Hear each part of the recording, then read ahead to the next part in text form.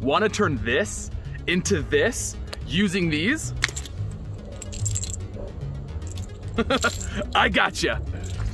The problem with regular serving spoons like this is whenever your wife makes you a can of green beans for dinner and you go to scoop some onto your plate, you end up getting a ton of bean juice on there as well. And then the croutons that were on your plate get really soggy and it just ruins everybody's day. The solution, as you may already know, is this. A skimmer spoon, a strainer ladle, a spoon sieve, a spider, a strainer spoon. But what if you don't have a strainer spoon? Like what if some dude just went up and ran over your only one with his dumb car? You can't just go buy one. In this economy, they'll cost you like seven whole buckaroonies on the Amazon. Here's a better option that just might save you money. Bullets.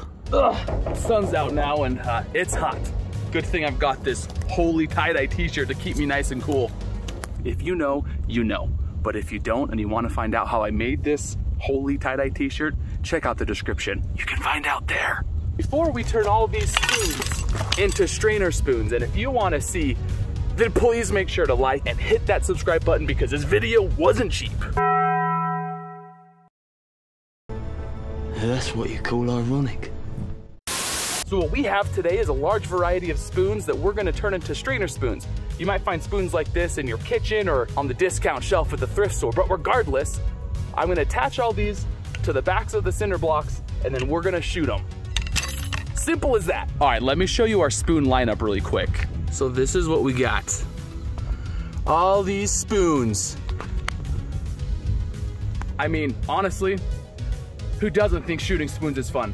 Comment down below if there's anything you'd rather be doing on a brisk Friday morning like this. All right, so to start, we're gonna start with some 9 mil. We've got some Freedom Munitions 124 grain full metal jacket. We're gonna start on the far left spoon because that's the biggest one. So we'll start there, and once that one looks good to go, we're gonna switch it up and then start shooting at the plastic spoon more towards the right, just right of center.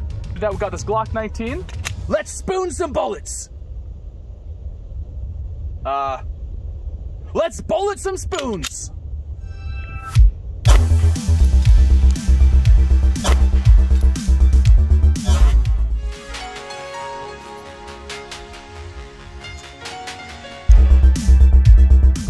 Uh, that, that spoon's gone. Uh, did it even work?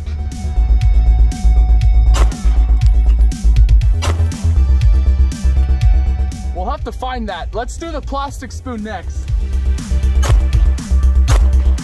Uh, ladies and gentlemen, uh, those didn't work as expected. Make sure we're clear. Let's go take a look. No! I just realized I didn't even start filming my uh, my close-up camera, so we didn't even see that. Uh, okay, so here's what we got. This is our uh, our uh, plastic spoon. I don't know if plastic's a good candidate for turning uh, spoons into strainer spoons with bullets. We've got, there's some kind of carnage that ended up everywhere. We had a, uh, ladies and gentlemen, I guess if you shoot a spoon, it turns into a fork. Well, got him! That's not ours. Let's check behind the cinder blocks, see if we have any remains. We got part of this wooden spoon. I'm actually surprised that that didn't shatter. It looks like it was just broken clean off. Yeah, so as you can see, it just broke the metal part clean off. This, uh, this had a plastic handle. I thought I saw it fly somewhere over here. Hold on, I'm gonna try. No, there it is. There it is. All right, here's what's left of our spoon. Dude, the autofocus on this thing's trash. Here's what's left of it. Doesn't look so good. It's not gonna, it'll, it'll, it'll strain, but that's because there's, it's, it's, it's only, uh, there's only holes in it. So, uh, okay. So this time, I've actually got my close camera recording. Uh, we've got one, two, three, four, five, six spoons left. So I'm gonna go for the bigger, the kind of the ladle next to the wooden spoon. And then I'm gonna try and see if I can hit one of the itty bitty little spoons, the furthest one on the right.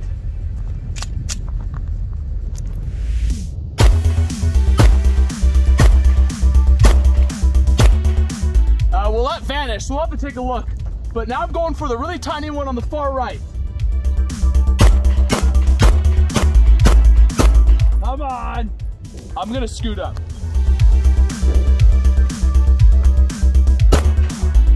We got it. It's gone.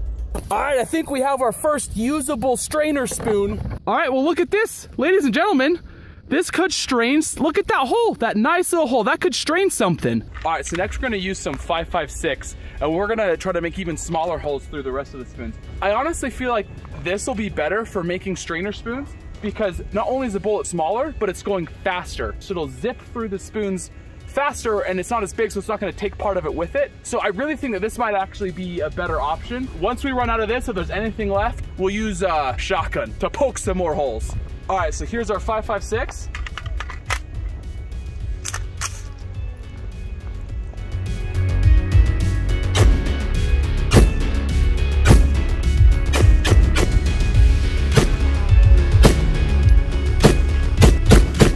The 556 round was way better for this. Look at all the holes we got through our shoehorn right there.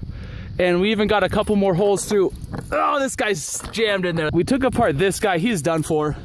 And we got the, the top part of that spoon. I really want to get that tiny one, so I'm gonna load up a few more 556, see if I can get that tiny one, and then we'll go from there. We really want to hit that small metal spoon to see if it makes a perfect little teaspoon, strainer spoon. I'm gonna try kneeling to see if that makes me a little bit more steady.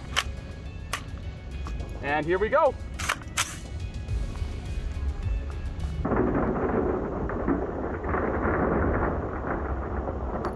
That's loud.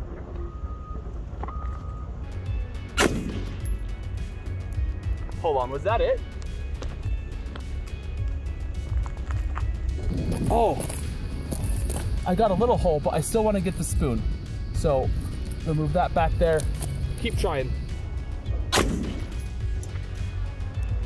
Did I get it?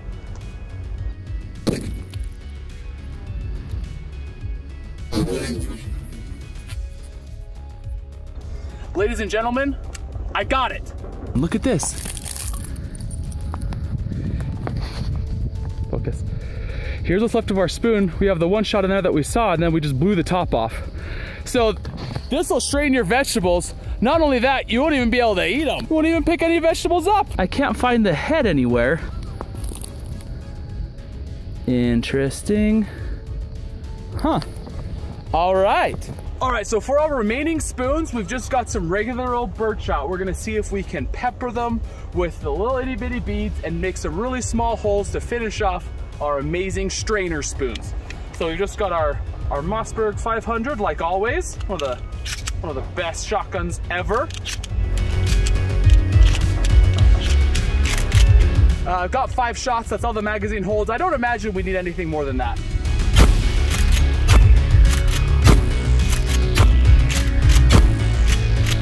All right, let's go look. I don't think this really did anything. Well, it took out our, our wooden spoon. Head somewhere back there. Our little, uh, this is probably our best one, ladies and gentlemen. We got a nice little strainer spoon right here. We'll have to try that out. Ugh. This guy, uh, well, still kind of a strainer.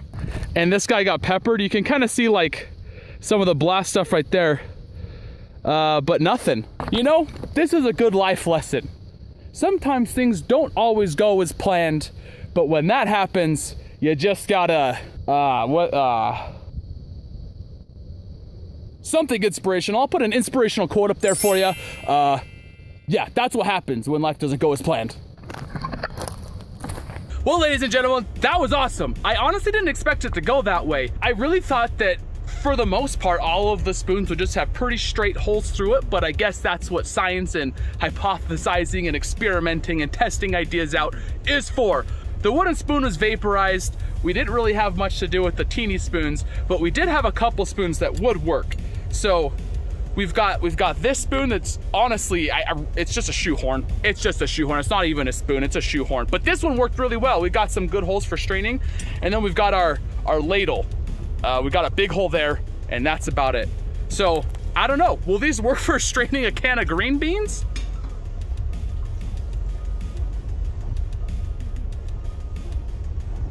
Well, I guess so. Thanks so much for watching. I appreciate you being here. Please make sure to like and subscribe if you enjoyed watching us turn regular spoons into the world's best strainer spoons. So I hope you have a great rest of your day. And as always, stay awesome, dude. You know, it's unfortunate that the spoons didn't work as well as we thought they would, but I've been thinking, what if bowls would work better?